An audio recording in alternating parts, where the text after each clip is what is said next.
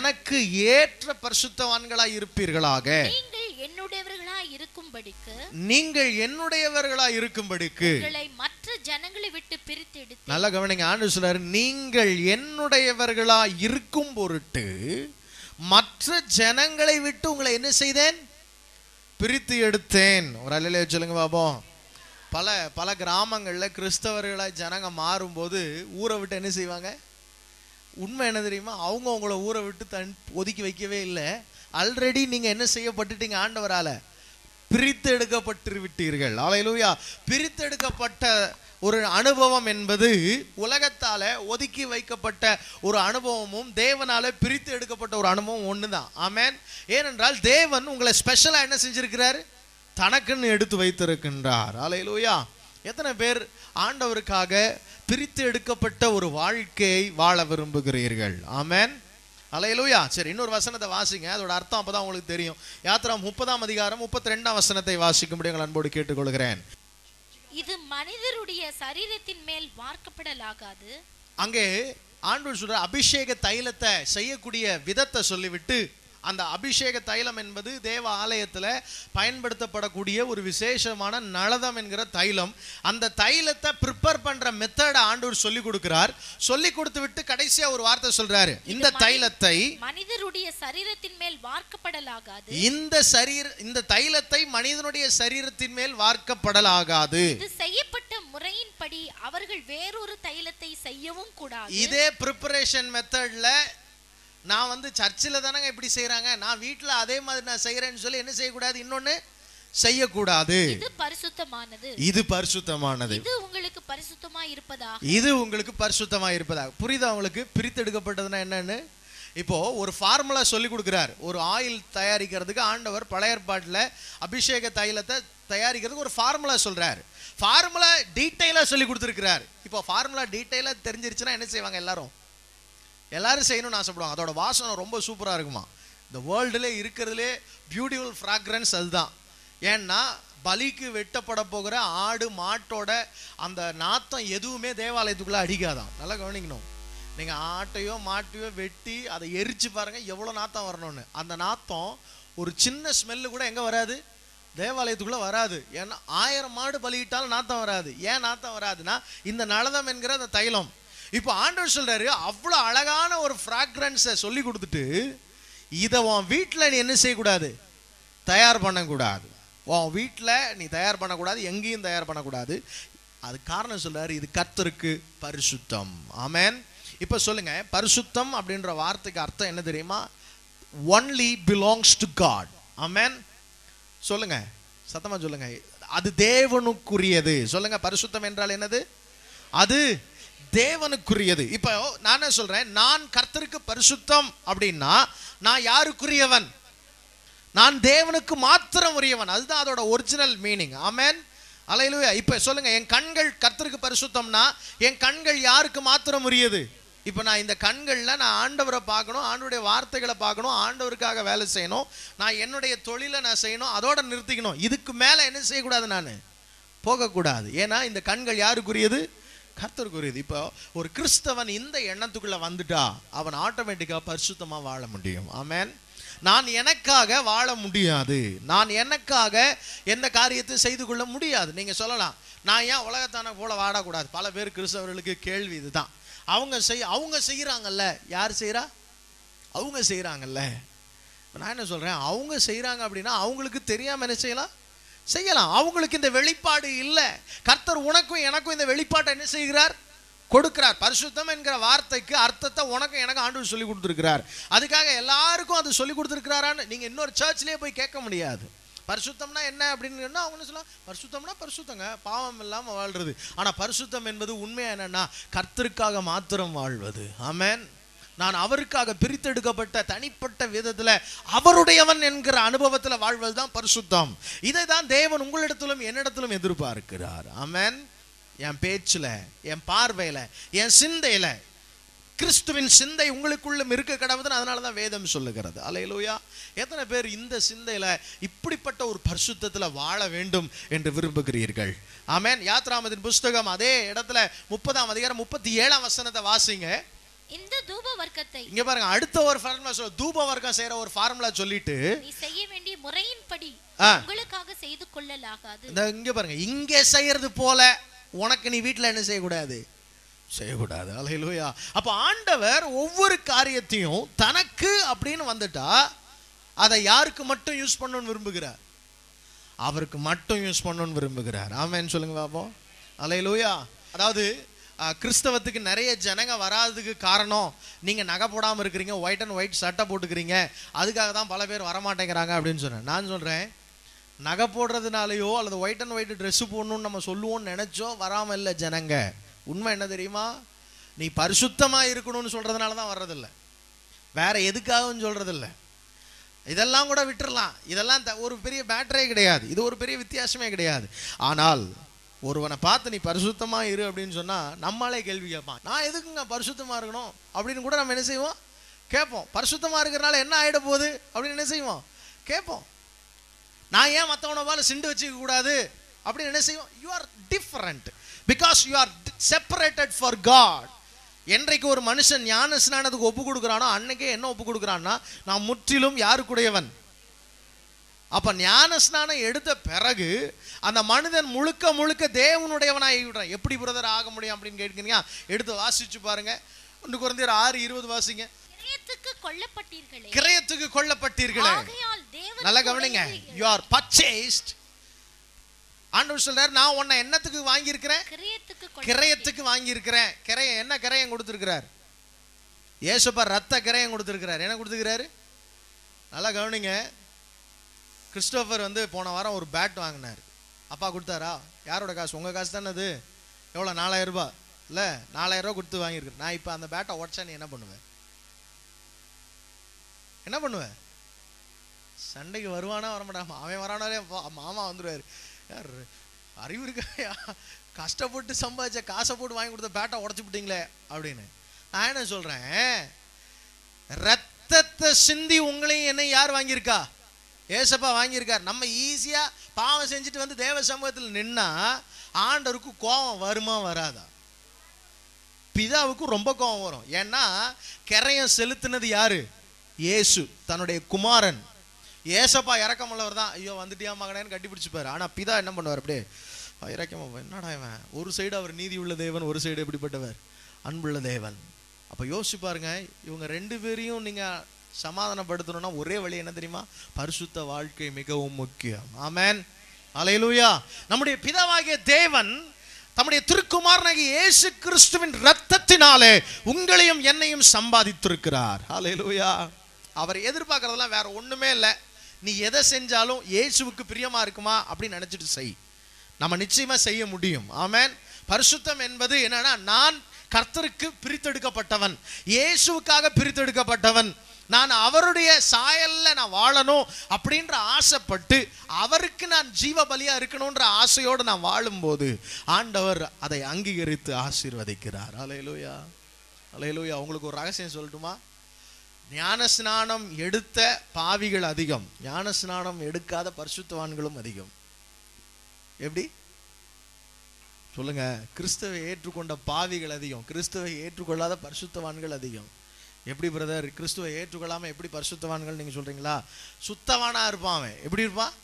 நம்ம பார்த்தீங்கன்னா அக்யூஸ்ட் வேலை எல்லாம் பண்ணிக்கிட்டு இருப்போம். நான் ஸ்கூலில் படிக்கும் போது நான் பார்த்துருக்குறேன். எங்கள் கிளாஸில் ரொம்ப நல்ல பசங்களாக இருப்பாங்க. நான் தான் சர்ச்சுக்கு போனவன். ஆனால் நான் தான் கெட்டவனாக இருப்பேன் அங்கே. நான் பார்த்துட்டு யோசிப்பேன் அடப்பாவே நம்மளை விட நல்லா இருக்காங்கய்யா அப்படின்னு நினைப்பேன். ஆனால் ஒரு நாள் ஆண்டவர் வித்தியாசத்தை காண்பித்தார். ஆமென். நீ பரிசுத்தவான வாழ வேண்டும் என்று கர்த்தர் விரும்புகிறார். நல்லா கவனிங்க உலகத்தில் இருக்கிறவன் தப்பு செய்யாமல் இருக்கிறான் ஈஸியாக எப்படின்னு கேட்டால் அவனுக்கு அவன் ஆல்ரெடி யார் கையில் இருக்கிறான்? பிசாசு கையில் இருக்கிறான். அவனுக்கு எதிர்ப்பு எதுவுமே என்ன செய்யாது? வராது. நீங்கள் ஜெபம் கொஞ்சம் பைபிள் வாசிக்க கொஞ்சம் பிரசங்கம் கேட்க நீங்கள் கொஞ்சம் ஆண்டவருக்குள்ளே வரும்போது பார்த்தீங்கன்னா உங்களை பிரச்சனைகள் நெருக்கும் போட்டு.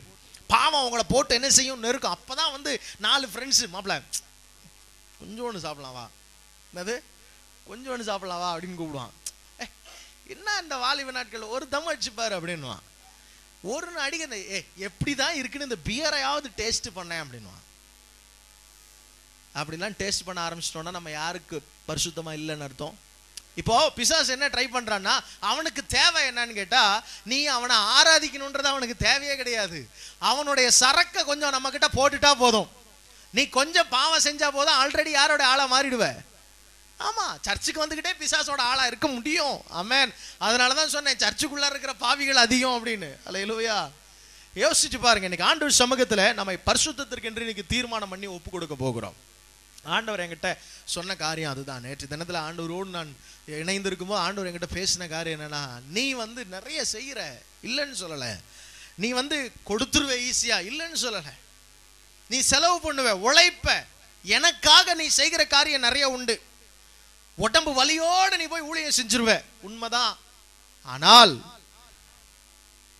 எனக்கு நீ என்ன செய்யற ஆண்டவருக்கு நான் என்ன செய்றேன் இப்போ ஆண்டவருக்கு எனக்கும் அப்படின்னும் போது ஆண்டவர் வந்து எதெல்லாம் எதிர்பார்க்கறது இல்லைன்னா நான் போயிட்டு நான் பிரசங்கம் பண்றது அதெல்லாம் ரொம்ப பெருசா எதிர்பார்க்கறது இல்லை. ஆண்டவர் எதிர்பார்க்கறது நான் பரிசுத்தமா இருக்கிறது மட்டும்தான். ஆமேன். அவர் என்கிட்ட கேட்கறதெல்லாம் நான் பரிசுத்தரா இருக்கிறது போல. நீங்கள் உங்கள் நடக்கை எல்லாவற்றிலையும் எப்படி இருங்கள்? பரிசுத்தராயிருங்கள். Amen.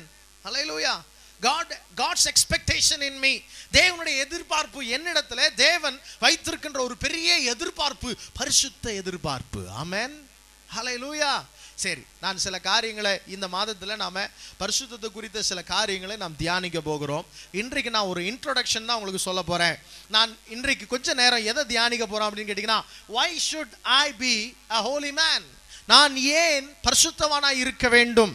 எல்லாரும் என்னை கவனிக்கணும். நான் ஏன் பரிசுத்தவானா இருக்க வேண்டும்? நான் எதற்காய் பரிசுத்தமாய் வாழ வேண்டும்? முதலாவது காரியம் எடுத்து வாசித்து பாருங்கள். ஆதியாகமம் ஒன்றாம் அதிகாரம் இருபத்தி ஏழாம் வசனம். ஆதியாகமம் ஒன்று இருபத்தி ஏழு. தேவன் தம்முடைய சாயலாக மனுஷனை சிருஷ்டித்தார். தேவன் தம்முடைய சாயலாக மனுஷனை சிருஷ்டித்தார். அவனை தேவ சாயலாகவே அவனை சிருஷ்டித்தார் தேவ சாயலாகவே சிருஷ்டித்தார். ஆணும் பெண்ணுமாக அவர்களை சிருஷ்டி நல்லா கவனிக்கணும். மனிதனை தேவ சாயலாக சிருஷ்டித்தார் தேவ சாயலாகவே சிருஷ்டித்தார். அப்படின்னா என்ன அர்த்தம்? அவரை மாதிரியே சிருஷ்டித்தார். சாயல் அப்படின்ன உடனே நமக்கு ரெண்டு கண்ணு ரெண்டு கை கால்லாம் இருக்கிறது போல ஆண்டவருக்கு ரெண்டு கண்ணு கை கால் மூக்கெல்லாம் இருக்கும் போல அப்படின்னு நினச்சிக்கிற கூடாது.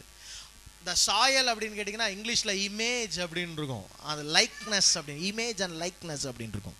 இமேஜ் அண்ட் லைக்னஸ்னா அவரை போல குணாதிசயம். யாரா யாரை போல குணாதிசயம்? அவரை போல குணாதிசயங்கள். அப்பாவை போல புள்ள ஆட்டோமேட்டிக்காக இருக்கிறதுல சாதனை எதுவுமே கிடையாது. ஏன்னா புள்ள அப்பாவை போல தான் என்ன செய்யணும்? இருக்கணும். நல்லா கவனிங்க. இப்ப தேவன் என்னை சிருஷ்டித்தார் என்றால் அவர் பரிசுத்தவான். ஆமேன். அலையிலூயா அவருடைய பரிசுத்த சாயலிலே என்ன என்ன செய்திருக்கிறார்? படைத்திருக்கிறார். ஆமேன். நான் ஏன் பரிசுத்தவானா இருக்கணும்? அதனால தான் சொல்றாரு நான் பரிசுத்தராக இருக்கிறது போல நீங்களும் என்ன செய்யுங்க? உங்களை படைச்ச அப்பாவாகிய நான் பரிசுத்தராக இருக்கிறேன். உனக்குள்ள பரிசுத்தமாக இருக்க முடியும். ஆமேன்னு சொல்லுங்க பாப்போம். நான் என்ன சொல்றேன்? எப்- ரொம்ப தூரத்துக்கு போயிருவோமே பின்னாடி. ஒரு ஐயாயிரம் வருஷத்துக்கு முன்னாடி ஏனோக்கு வாழ்ந்தார். அவரே பரிசுத்தமாக இருந்தாருங்க. தேவனோடு சஞ்சரித்தார். ஏனோக்கோட காலம் வந்து ரொம்ப மோசமான காலம். இப்போல்லாம் நம்மலாம் ரொம்ப கல்ச்சர்டு பீப்புள் அந்த காலத்துலலாம் கல்ச்சர் கிடையாது ஒன்றும் கிடையாது. எல்லாம் இஷ்டத்துக்கு அவன் என்ன செஞ்சான் வாழ்ந்துகிட்டு இருந்தான். ஏனோக்கோட காலத்தை குறித்து ஆறாம் அதிகாரத்தை நான் வாசிக்கிறோம். அவன் அவன் குடித்து வெறிச்சு பெண் கொண்டும் பெண் கொடுத்தும் என்ன செஞ்சுட்டு இருந்தானா? சந்தோஷமா வாழ்ந்துகிட்டு இருந்தான். நோவாவின் காலம் மிக கொடிய காலம். மனிதனை உலகத்துல படைத்ததற்காக தேவர் என்ன செய்யப்பட்டாரா? மனஸ்தாபப்பட்டார் என்று வேதம் சொல்லுகிறது. அலையலூயா. அப்படிப்பட்ட காலத்திலேயே நோவாவுக்கு கத்துடைய கண்கள் என்ன செய்தது? அப்போ அவ்வளோ பாவம் நிறைந்த காலத்தில் நோவாவால் எப்படி வாழ முடிஞ்சுது? பரிசுத்தமாக வாழ முடிஞ்சது. ஆமேன். அவ்வளோ பாவம் நிறைந்த காலத்தில் ஏனோக்கால தேவனோடு சஞ்சரிக்க முடிந்தது. இன்றைக்கு உங்களாலையும் என்னாலையும் பரிசுத்த ஆவியின் அபிஷேகத்தை பெற்றிருக்கிறோம். இயேசுவின் ரத்தத்தால் கழுவப்பட்டிருக்கிறோம். கத்தருடைய வார்த்தையை கையில் வச்சிருக்கிறோம். எவ்வளோ பெரிய அனுபவம் தெரியுமா இதெல்லாம்? அவங்களுக்கு இதெல்லாம் கிடையாதுங்க. ஏனோக்கு பைபிள் கிடையாது. ஏனோக்கு இயேசுவின் ரத்தம் கிடையாது. ஏனோக்குக்கு பரிசுத்தாவின் அபிஷேகம் கிடையாது. ஆனால் அவன் தீர்க்கதரிசியா இருந்தான். தேவனோடு நடந்தான். உங்க ஏனோக்கையும் நம்மளையும் வச்சு பார்த்தா ஆண்டவர் என்ன சொல்லுவார் நம்மளை? நமக்கு எவ்வளோ செஞ்சிருக்கிறார் ஆண்டவர்? பரிசுத்தமாய் வாழ. நான் படைக்கப்பட்டேன். ஆமேன்னு சொல்லுங்க பாப்போம். சதமாக சொல்லுங்க. நான் பரிசுத்தமாய் வாழ படைக்கப்பட்டவன். பரிசுத்தரால் படைக்கப்பட்டவன். அதனால நான் எப்படி வாழணும்? பரிசுத்தமாக தான் வாழணும். Amen. My creation is a holy creation. I am a holy creation. கர்த்தர் என்னை பரிசுத்தவனாய் படைத்திருக்கிறார். ஒரு பரிசுத்தர் என்னை படைத்திருக்கிறார். ஆகவே நான் எப்படி தான் இருக்கணும்? பரிசுத்தவனாக தான் இருக்கணும். அலையலூயா அலையலூயா சில பேர் சொல்லுவோம் படிச்சவன் மாதிரி நடந்துக்க மாட்டேங்கிறியே. எப்படி? அப்போ படிச்சவன் எப்படி நடந்துக்கணும் நம்ம என்ன எதிர்பார்க்குறோம்? படிச்சவன் மாதிரி டீசெண்டாக நடந்துக்க மாட்டேங்கிறியே. சொல்கிறோம்ல அப்போ ஒருத்தன் படிச்சவன் அப்படின்னா அதுக்கேத்த நடக்க.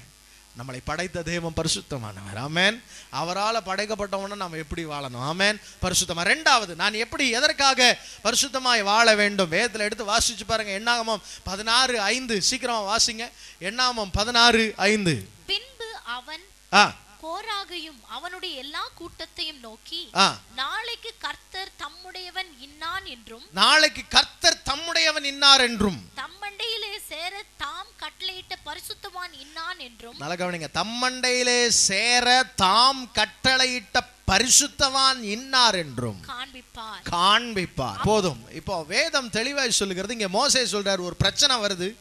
நீ மட்டும் தான் பெரிய பரிசுத்தவானாயா? போயா கர்த்தர் எங்களோடையும் பேசுவார். நீ மட்டும் தான் தலைவனா? நீ தலைவனா இருக்கணும்னு நாங்கள் எங்களுக்கு அவசியம் இல்லைன்னு ஒரு கூட்டம் எழும்பி சொல்லுது மோசே கிட்ட.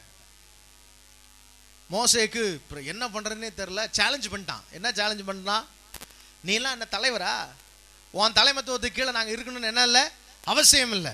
உன்கிட்ட தான் கத்தர் பேசுறாரா? வேலையை பார் அப்படின்னு உன் தலைமை கீழே இருக்க மாட்டேன்னு கோராகு சொல்லிட்டான். இப்போ ஆண்டவர் இறங்கி வந்து மோசே கிட்ட பேச சொல்கிறாரு மோசே நாளைய தினம் நான் இறங்கி வருவேன். இறங்கி வந்து என் அண்டையிலே சேரத்தக்க பரிசுத்தவான் யார் என்பதை நான் காண்பிப்பேன் என்று சொன்னார். ஆமேன். நடந்த சம்பவம் என்ன தெரியுமா? அடுத்த நாள் காலையில் மோசே ஜனங்க எல்லாரும் ஒரு இடத்துல கூடி வந்திருக்காங்க கூடார வாசலில். கோராகின் குடும்பம் ஒரு மலையில் நிற்குது ஒரு பகுதியில் எதிர்த்து அதாவது ஆசிரியப்பு கூடாரத்துக்கு எதிரில். மோசே இங்கே நிற்கிறான் ஆண்டு சொல்கிற மோசே கூடாரத்துக்குள்ள வா. கர்த்தருடைய கோபம் இறங்கி வருது. அந்த கோராக அவனுடைய குடும்பத்தையும் பூமி என்ன செஞ்சிருச்சான்? அப்படியே பூமி ஓப்பன் ஆகி நேராக பாதாளத்துக்கு போயிட்டான்னு பைபிள் சொல்லுது. ஆமேன். ஆண்டவர் தம்மண்டையில் சேரத்தக்க பரிசுத்தவானாய் மோசையை நிறுத்தினார். அலையலோயா சொல்லுங்க பரிசுத்தவான் யார்? நான் ஏன் பரிசுத்தமாக இருக்கணும் தெரியுமா? அப்போ தான் நான் யார் இடத்துல சேர முடியும்? தேவனிடத்தில் சேர முடியும். சொல்லுங்க. பரிசுத்தவானா ஏன் வரணும்? வேதம் சொல்லுகிறது ஆண்டவர் உன்னை சுத்தவானாய் காத்துக்கொள். என்று எதுக்கு சொல்றாரு? கர்த்தருடைய சமூகத்தில் வரும்போது அப்பதான் ஆண்டவர் பட்சத்தில் நாம் இருக்க முடியும். ஆமேன் அலையலூயா நான் பாவம் செஞ்சுட்டு ஆண்டவர் என் கூட இருக்கிறாருன்னா அதை விட முட்டாள்தனம் எதுவுமே கிடையாது. பாவம் செய்கிற எந்த மனிதனுக்கும் தேவன் எதிர்த்து நிற்கிறார். ஆமென் அலையலூயா இன்னைக்கு ஃபுல்லா நான் சினிமா பார்த்துட்டு இன்னைக்கு ஃபுல்லா நான் வந்து இச்சையா பார்த்துட்டு டான்ஸை போட்டுட்டு எல்லாத்தையும் பண்ணிட்டு கர்த்தர் என்னோடு இருக்கிறார் பதர் அப்படின்னு சொன்னால் என்ன மாதிரி முட்டாள் யாருமே கிடையாது. அமேன் அலையிலோயா சினிமா சீரியல் பார்க்குற ஆட்கள்லாம் விட்டுருங்க இச்சையாக பார்க்குறது தான் அங்கே இருக்குது நிறையா. சந்தோஷமா பார்க்க முடியுமா அங்கே உட்காந்து? சொல்லுங்கள் ஆர். ஸ்டான்லி ஒரு தடவை சொன்னார் குடும்பமாக உன் பிள்ளைய பக்கத்தில் உட்கார வச்சுக்கிட்டு ஆ? உன் பொண்ணை பக்கத்தில் உட்கார வச்சுக்கிட்டு உன் பையனை இந்த சைடில் உட்கார வச்சுக்கிட்டு எந்த சலனமும் இல்லாமல் முகம் கோணாமல் இப்படி தலையை குனியாமல் பார்க்க முடியறதுக்கு ஒரு படம் இருந்தால் தாராளமாக உட்காந்து பாருங்க அப்படின்னாரு. ஆமேன். பார்க்க முடியுமா? மனைவியை கூட்டிட்டு போய் உட்காந்தே பார்க்க முடியாது இன்னைக்கு வர்ற படத்தெல்லாம். ஆமாம் பார்க்க முடியுமா? சொல்லுங்க உண்மையாக ஒய்ஃப்ஸ் சொல்லுங்க. உங்களை விட அழகான பொண்ணு அங்கே டான்ஸ் ஆடிட்டு இருக்கோம். உங்கள் வீட்டுக்காரரை கொண்டு போய் உட்கார வச்சு பார்க்க வைப்பீங்களா? நீங்கள் பாருங்க என்னை விட அழகான பொண்ணு அங்கே ஆடுது. விட மாட்டீங்கல்ல அப்புறம் நீங்கள் மட்டும் ஏன் சீரியலை பார்க்குறீங்க வீட்டில் உட்காந்துக்கிட்டு நேரம் போகலன்னு இதெல்லாம் விட்டுருணும் இன்னையோட. பாஸ்ட் நான் சொல்கிறேன் இப்போ கொஞ்ச நேரத்துக்கு முன்னாடி சொல்கிறேன் பாஸ்டர் என்ன சொல்கிறாரோ அதை செய்யுங்கன்னு சொல்லிட்டு போனார் ஆனந்த ராஜபதர். அதனால் ஒழுங்காக நான் சொல்கிறத செய்யுங்க. சீரியலை பார்த்து சீரழிஞ்சு போகாதீங்க. பல குடும்பம் சின்ன பின்னமாகி போனதுக்கு காரணமே சீரியலு சினிமா தான். அலையலுவியா வாலிப பசங்க ஆக்ஷன் ஃபிலிம் பார்க்குறேன் அப்படின்னு நீ ஆக்ஷன் ஆயிடாத உன்கிட்ட கொஞ்சம் கூட ஆக்ஷனே அதுக்கப்புறம் என்ன செய்யாது? இருக்காது. முடமாய் போனவன் தான் பாதி பேர். சினிமா பார்த்து எனக்கு அன்பான தேவனுடைய பிள்ளைகளை கற்றுடைய சமூகத்திலேருந்து சொல்கிறேன் பரிசுத்தத்துக்கு உன்னை ஒப்பு கொடு உன் கண்களுக்கு இடம் கொடுக்காத பாவம் செய்ய. உன் சரீரம் முழுவதையும் கெடுத்து விடும் நேற்று தினத்தில் நாங்கள் வாசித்தோம் மற்ற ஆறாம் அதிகாரத்தில் ஆண்டவர் சொல்றார் உன் கண்ணுக்கு இடம் கொடுக்காத. உன் சரீரத்தை கெடுக்கிறதுக்கு எதுதான் முதல்ல வேலை செய்யுமா? பைபிள் எடுத்து வாசிச்சு பாருங்க. மத்திய எழுதின சுவிசேஷம் ஆறாம் அதிகாரம். மத்திய எழுதின சுவிசேஷம் ஆறாம் அதிகாரம் இருபத்தி ரெண்டு உனது சரீரத்தின் விளக்காய் இருக்கிறது உன் கண் தெளிவாய் இருந்தால் உன் சரீரம் முழுவதும் வெளிச்சமாயிருக்கும். ம். உன் கண் கெட்டதாய் இருந்தால் உன் சரீரம் முழுவதும் இருளாயிருக்கும். ம். இப்படி உன்னில் உள்ள வெளிச்சம் இருளாய் இருந்தால் இவ்விருள் எவ்வளவு அதிகமா இருக்கும் நல்ல கவனிங்க. கண்ணை உனக்கு ஆண்டவர் வெளிச்சமா கொடுத்திருக்கிறார். அந்த வெளிச்சத்தை என்ன வாக்காத? இருளா? மாற்றாத பாவத்தை வச்சு இருளா என்ன செய்யாத? மாற்றாத. ஆர் ஸ்டான்லி அவர் ஒரு வார்த்தை அழகாக சொல்லுவார். ஒரு பொண்ணு ரோட்டில் முன்னாடி வருது. அழகான ஒரு பொண்ணு வருது. நீ போகிற பார்க்காம என்ன செய்ய முடியாது? போக முடியாது. முதல் முறை அந்த பொண்ணை பார்த்தாச்சு.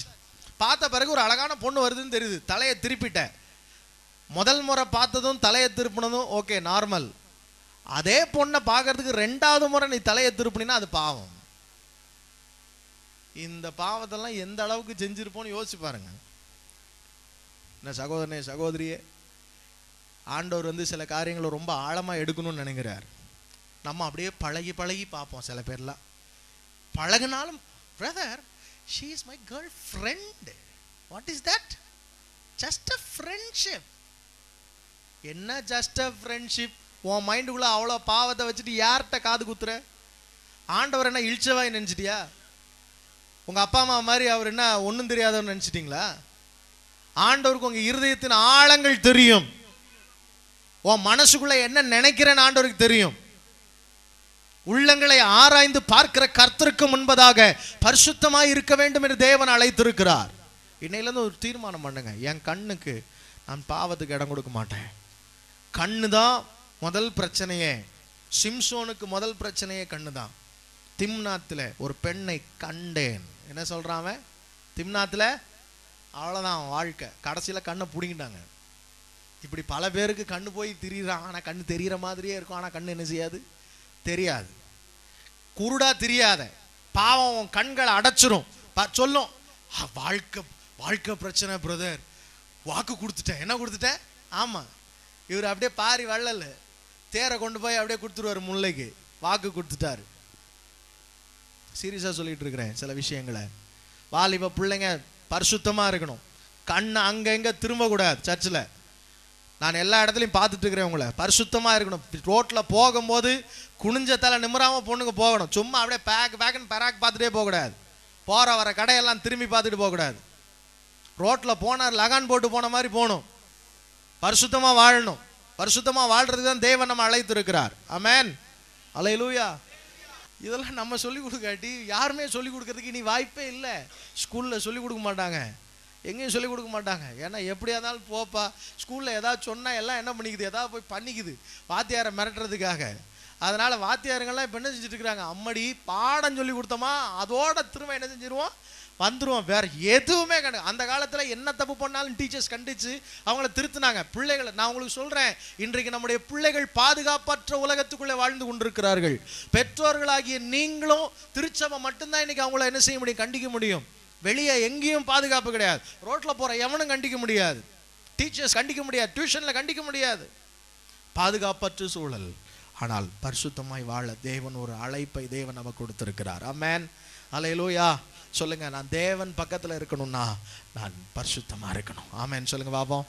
அலையலூயா கர்த்தர் நம் பட்சத்துல இருக்கணும்னா பரிசுத்தமா இருக்கணும். ஐயா ஒரு தீர்மானம் பண்ணுங்க இன்னைக்கு. ஆண்டவரே நான் பரிசுத்தமா இருக்க விரும்புகிறேன். மூன்றாவதாக நான் என்ன செய்ய வேண்டும்? யாத்ராகமம் இருபத்தி ரெண்டு முப்பத்தி ஒன்னு எடுத்து வாசிச்சு பாருங்க.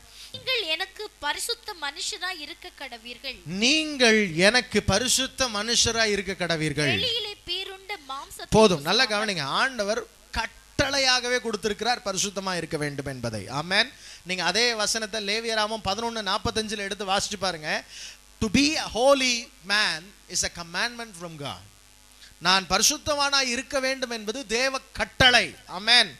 கட்டளையை மீறுவது எல்லாம் பாவம். அதனால பரிசுத்தமா வாழலைன்னா நான் பாவம் செய்கிறேன்னு அர்த்தம். வாசிங்க பார்ப்போம். லேவியராமம் பதினொன்னு நாற்பத்தஞ்சு. நான் உங்கள் தேவனாய் இருக்கும்படி உங்களை எகிப்து தேசத்திலிருந்து வரப்பண்ணின கர்த்தர் நான் பரிசுத்தர். நான் பரிசுத்தர். ஆகையால் நீங்களும் ஆகையால் நீங்களும் பரிசுத்தராய் இருப்பீர்களாக பரிசுத்தராய் இருப்பீர்களாக amen it is a commandment from God. It is not a request. இது ஒரு ஐயா பரிசுத்தமா இரியா அப்படிலாம் கெஞ்சறதுக்கு ஆண்டவர் சொல்லவே இல்லை. ஆண்டவர் சொல்ல நீ பரிசுத்தமா என்ன செய்யணும்? இருக்கணும். அப்படிதான் இருக்கணும். இல்ல எனக்கு பிடிக்காது. அப்படின்னா நீ நரகத்துக்கு போ. யார் வேணான்னா நீ ஏன் உன் தலையில மண்ணை தூக்கி போட்டுக்கிறன்னா போயிட்டு போ. பரிசுத்தமா இருப்பீர்களாக என்பது கட்டளை. கட்டளைய யார் சந்தோஷமா ஏத்துக்குவா தெரியுமா? நேசிக்கிறவங்க ஏத்துக்குவாங்க ஆண்டவர். ஆமேன் நைட்டு வந்து ஒரு ஒன்பது ஐம்பது ஆயிடுச்சு. காலையில் ஆறாதரைக்கு சீக்கிரம் எந்திரிச்சு ரெடி ஆகணும் என் பிள்ளைகள்ட்ட சொன்னேன் இன்னும் ஒரு நிமிஷம் டைமு அந்த ஒரு நிமிஷத்துக்குள்ள எங்கெங்கே இருக்கிறீங்களோ எல்லாம் ரூம்குள்ளார வந்துடணும்னு சொன்னேன்.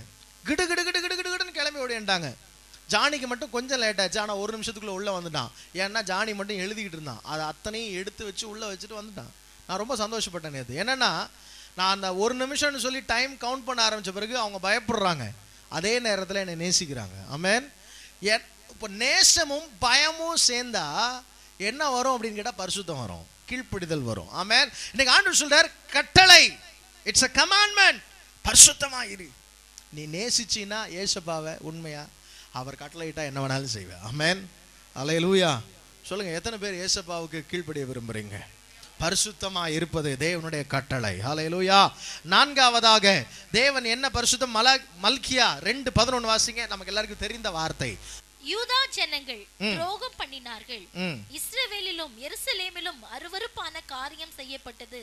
கர்த்தர் சிநேகிக்கிற பரிசுத்தத்தை யூதா ஜனங்கள் பரிசுத்த குலைச்சலாக்கி நல்ல கவனிங்க. கர்த்தர் சிநேகிக்கிற பரிசுத்தம். ரொம்ப அழகா சொல்லப்பட்டிருக்கிறது. The holiness that God loves கர்த்தர் சிநேகிக்கிற பரிசுத்தம். நான் இப்படி சொல்றேனே. பரிசுத்தமாக இருக்கிறவர்களை கர்த்தர் சிநேகிக்கிறார். ஆமென்னு சொல்லுங்க பாப்போம். உங்களை ஆண்டவர் நேசிக்கணும்னு நினைக்கிறீங்களா? ஏற்கனவே நேசிச்சு தான் உயிரை கொடுத்துட்டாரு. ஆனால் இப்போ உங்களை நேசிக்கணும் அப்படின்னா என்னதான் பண்ணி ஆகணும்? பரிசுத்தமாக இருந்தே ஆகணும். ஆலையிலூயா நீங்கள் பரிசுத்தமாக இருந்து பாருங்க. நான் சொல்கிறேன் உங்கள் வாழ்க்கையில் நடக்க வேண்டிய அத்தனை காரியங்களையும் கர்த்தர் அதினதின் காலத்தில் நேர்த்தியாய் நடத்துவார். ஆமேன். பரிசுத்தத்தோட பலன் இருக்குது. நான் ப- நான் வந்து இந்த மாதம் நான் உங்களுக்கு சொல்லும் போது நான் சொல்கிறேன் ஆண்டவர் நிறைய ரகசியங்களை கற்றுக் கொடுத்தார். பரிசுத்தத்துக்கு பலன் இருக்குது. என்ன இருக்கு? பலன். சதமாக சொல்லுங்க. என்ன இருக்கு? ப்ராஃபிட் இருக்கு. பலன்னா என்னது?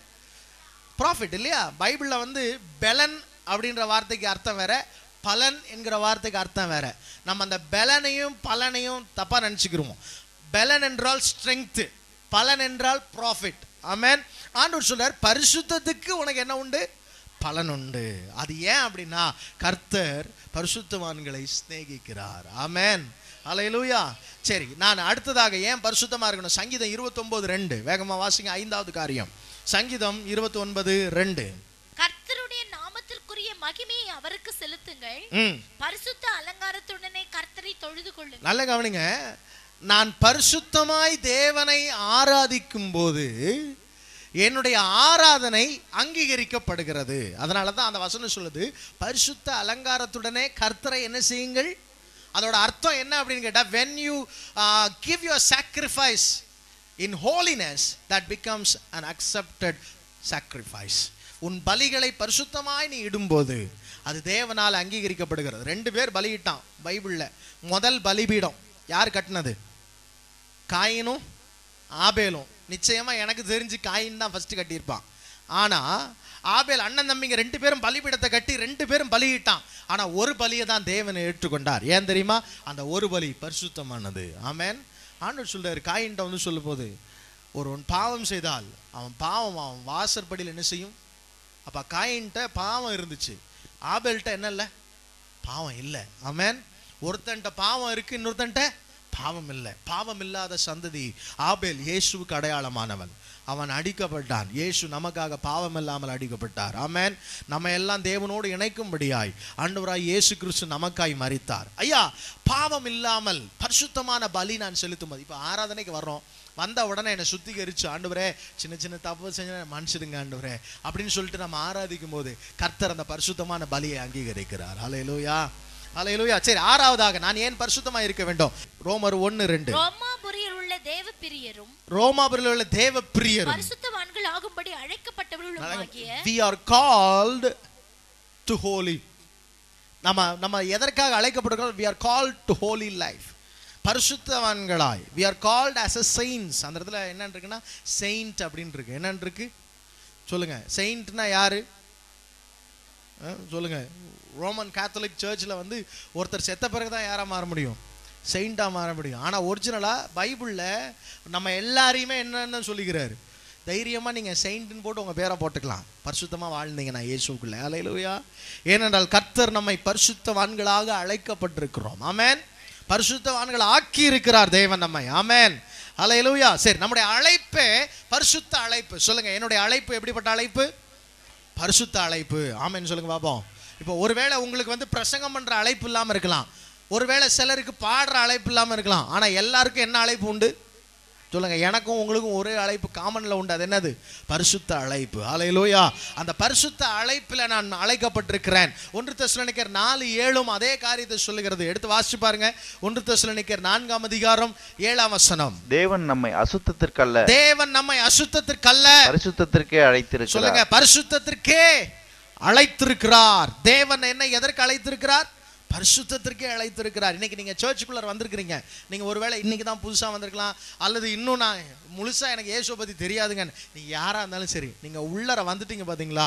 உங்களை ஆண்டவர் இங்க கொண்டு வந்தது உங்களை பரிசுத்தவானா மாற்றுவதற்காக. ஹalleluya அலையிலுயா சரி கடைசியாக நான் ஏன் பரிசுத்தமான இருக்க வேண்டும்? எடுத்து வாசிச்சு பாருங்க. ஒன்று தெசலோனிக்கர் நான்காம் அதிகாரம் மூன்றாம் வசனம். நாலு மூணு. ஒன்று தெசலோனிக்கர் நான்கு மூன்று. நீங்கள் பரிசுத்தம் உள்ளவர்களாக வேண்டும் என்பதே நீங்கள் பரிசுத்தம் உள்ளவர்கள் ஆக வேண்டும் என்பது. தேவனுடைய சித்தமாய் இருக்கிறது. உங்களை குறித்த தேவனுடைய சித்தமா இருக்கிறது. ஆமென்னு சொல்லுங்க பாப்போம்.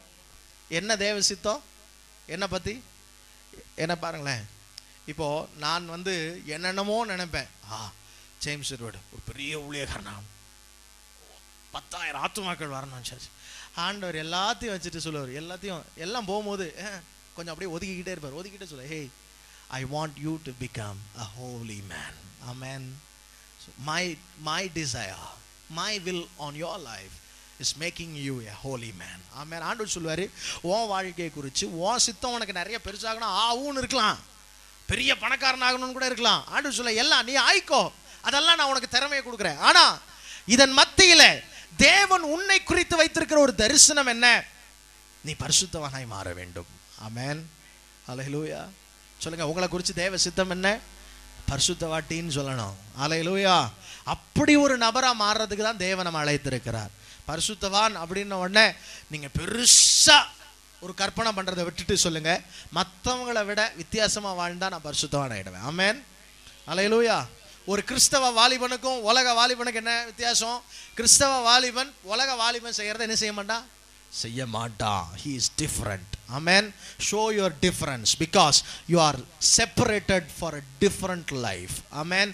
நீங்களும் நானும் காடோஷ். சொல்லுங்க பாப்பா எல்லாரும் சொல்லுங்க நான் யாரு? காடோஷ். சத்தமாக சொல்லுங்க நான் யாரு? காடோஷ். காடோஷ்னா என்னது? பரிசுத்தவான் பிரித்தெடுக்கப்பட்டவன் செப்பரேட்டட் என்ன தேவன் என்ன செஞ்சிருக்கிறார்?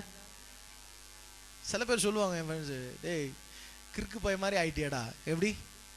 கிறுக்கு பய மாதிரி ஆயிட்டே எங்களோட சந்தோஷமாக இருக்கிறது இல்லை எங்களோட வர்றதில்லை போகிறதில்ல நான் வந்த நாட்களில் பைபிள் காலேஜ் முடிச்சுட்டு வந்த நாட்களில் என் பழைய ஃப்ரெண்ட்ஸ் எல்லாம் என்னை தேடி வந்த போது அவங்க சொன்னது ஒன்று தான் அவனுக்கு பைத்தியம் பிடிச்சிருச்சு. இயேசு பைத்தியம். என்ன பிடிச்சிருச்சு?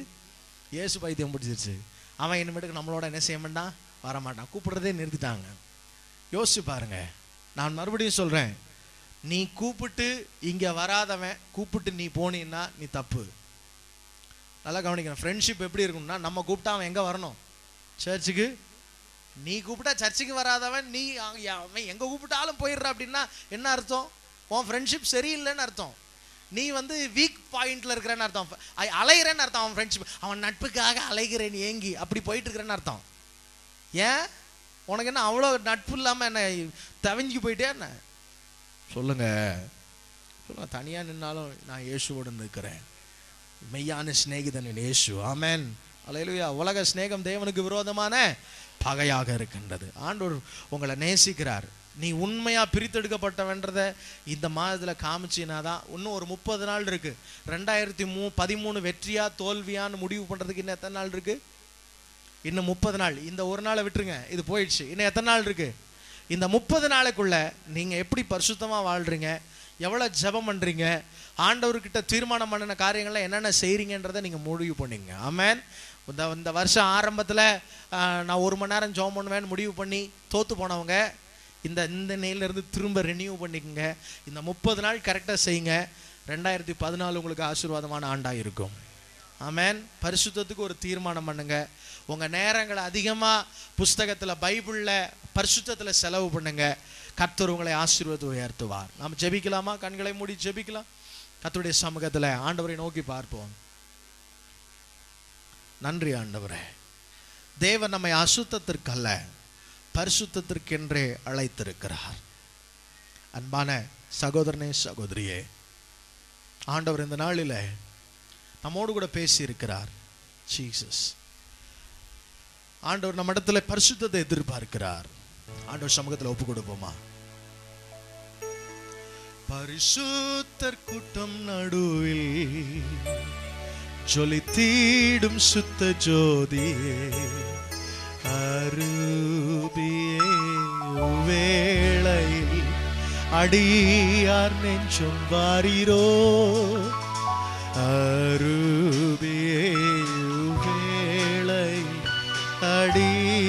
நெஞ்சம் வாரீரோ? துணை வேண்டும் தகப்பனே உலகிலே என்னை எதிர்க்கும் சக்திகள் பல உண்டு. துணை வேண்டும் தகப்பனே உலகிலே என்னை எதிர்க்கும் சக்திகள் பல உண்டு. என் ஜீவன் எல்லை எங்கிலும். பரிசுத்தம் என எழுதோ என் ஜீவனில்லை எங்கிலும். பரிசுத்தம் என எழுதோ பரிசுத்தர் கூட்டம் நடுவில் சொல்லி தீடும் சுத்த ஜோதியே. தூதியே வேளையில் ஆண்டு சமூகத்தில் ஒப்பு கொடுங்க ஒருவேளை இன்னைக்கு ஆவியானவர் உங்கள் இருதயத்தில் பேசி இருப்பாரு அப்பா என்ன பரிசுத்தப்படுத்துங்க. அப்பா ஒரு பரிசுத்த குலைச்சொலை என்னிடத்துல இராதபடிக்கு. அசுத்தத்திற்கு அல்ல பரிசுத்தத்திற்கே என்னை அழைத்திருக்கிறீரே. அதை உணர்ந்து நான் செயல்பட எனக்கு உதவி செய்யணும் கேளுங்க. அடியனைச்சும் வாரீரோ.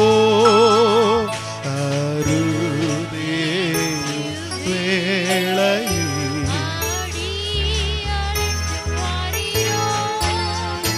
பாரும் தந்தை எந்த உள்ளத்தை யாரும் காண உள்ளாலங்கோலத்தை பாரும் தந்தை எந்த உள்ளத்தை யாரும் காண அலங்கோலத்தை மனநோந்து மருளுகிறே. பரிசுத்தம் கெஞ்சுகிறே. மனநொந்து மருளுகிறே பரிசுத்தம் கெஞ்சுகிறே